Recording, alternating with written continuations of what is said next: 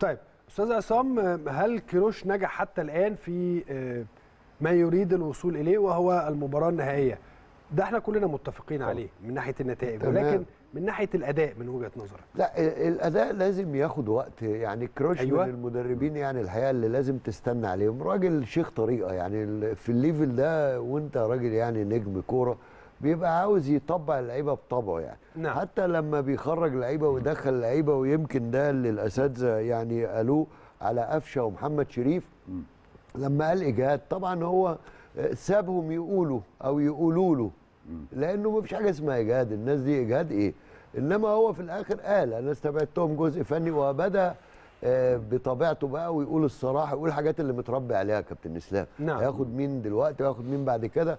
هو عامل فايلات على فكرة لكل اللعيبة اللي بتلعب بره. بل على العكس ناقص يعمل مكافأة للي يرشد عن حد بره. وهو ما يعرفوش. آه. تخيل؟ زي أفضليات كل الناس المحترفة. أنت بتبقى مالديني ماسك إيطاليا وهي بلده لكن ممكن يجيب لعيب إيطالي في أسبانيا قبل ما يجيب لعيب من. اليوفي يعني. هو دايما بيرى إن ده بيبقى أكثر قدرة على يعني الجلد وكذا والدليل إن في بلد آخر أو مؤسسة هي بيزنس بقى واحتراف مؤسسة أخرى انتدبته يعني. نعم. وبالتالي كيروش رايح على المساحة. دي عشان كده لو يعني يعني يعملوا لنا حاجة كويسة قبل ما يمشوا الراجل ده يتمضي معاه عقد طويل بغض النظر عن الوقت. بس بشرط إنهم يكملوا ال- الاستاف بتاعه. هو طالب يجي 8 وطبعا فضلوا يختزلوهم شوية بشوية لازم يكملوا له الاستاف بتاعه عشان يشتغل شغله اللي هو أبو جد يعني. وبالتالي تقدر ساعتها ترصده. إحنا ما عندناش أزمة غير في المباراة النوك أوت إن شاء الله إن بس فكرة إن إحنا الله يهديهم بس ما لعبناش في الأجندة الدولية ماتشات دولية ودية.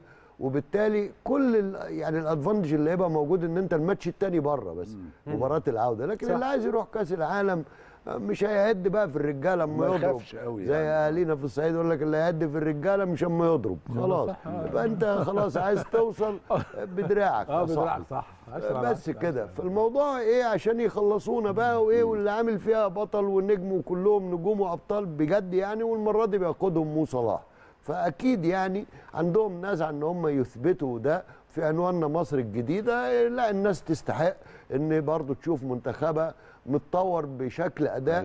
يحترم الجمهورية الثانية الكرة هي كده هي فعلا سلعة أمن قومي وسلعة بهجه في نفس الوقت حاجة كده بتكبر البلاد والعباد. إحنا منتظرين منه بقى إن إحنا نشوف كورة بدءا من مباراة الغد وإنت طالع بقى لقدام. كأس آه، العرب في كأس العرب آه. في أمم أفريقيا. نبدأ نشوف كيروش وهو بيحط بقى تكتيك وحاجات كده وأعتقد إن هو هيروح على ثلاثة أربعة دي. واضح كده إن في طريقة جديدة هتتسلل لمصر اللي لعبها الموس آه، الأحمر. ملبوس على. نفس المدرسة بتاعته إيه؟ ما طبعا بعض كده ما اشتغلوا أنا مع ده بعض اللي كنت تلاتة لسه أربعة. اشتغل معاه وكده وراجل بيطور طول الوقت اشتغل معاه كتير وشاف شغله. واضح إن هنلعب زي مستر فايسا كده زمان لما جاب 3 5 2 برضه. هيبقى شيخ جديدة. يبقى شيخ آه. طريقة. آه، بجد وبالتالي هيدعم ده وهتلاقي فعلا في تطور. إذا ما الراجل اشتغل زي ما هو عايز ما فيش حاجة بقى اسمها نقعد نقول مناصب ومراكز ومين صاحب رأي ومين مش صاحب رأي. محدش يزعل بقى الراجل هيشتغل كما كل المدربين الفنيين. ما عندناش أي قلق لأنه حكاية التصنيف الأول دي محتاجة إن منتخب يقع. النقط مش هتعوق يعني إحنا لو كسبنا أيوة. 10 0 ما لهاش دعوة. ملهاش علاقة. لا بالظبط. خالص. الحكاية كلها آه لا خلاص هو الموضوع إنما انتهى هي يعني. خلاص أمرك بيدك توكلنا على الله مصر تستحق يلا يا رجالة وإحنا وراهم إعلام كان أو جمهور أو كله كله وبالتالي لا لا داعي للقلق. أي قلق أنا بالنسبة لي والله تقول لك إيه مخاصمهم. يعني خلاص إحنا نزعل ليه؟ إذا كان بقى الفرسان دي ونبقى قلقانين. طب يعني ينفع كده؟ ما آه. ينفعش. وبالتالي ننتظر إنتاج يساوي آه إن شاء الله طموحنا في منتخبنا